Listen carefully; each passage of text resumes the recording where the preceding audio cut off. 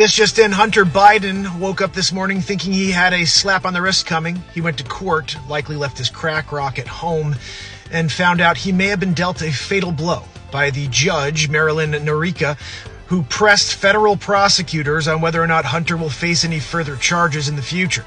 Leave a comment below, let me know what you think. I think any other United States citizen would be in jail for the actions of Hunter Biden. But his last name is Biden. Imagine if it was Trump.